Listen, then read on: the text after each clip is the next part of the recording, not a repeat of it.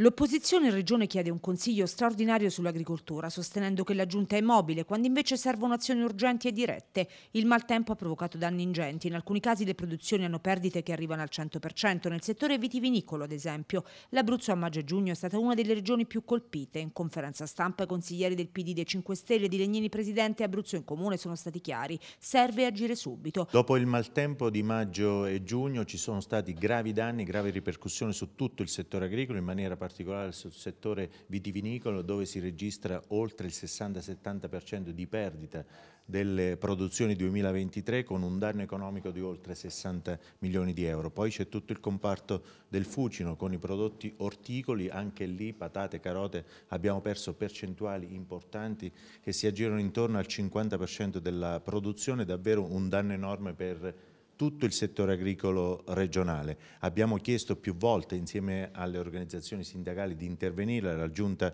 regionale, nessuna risposta è arrivata ad oggi, per questo abbiamo chiesto un consiglio regionale straordinario dove si parla solo dell'agricoltura, solo dei problemi, ma soprattutto delle possibili soluzioni.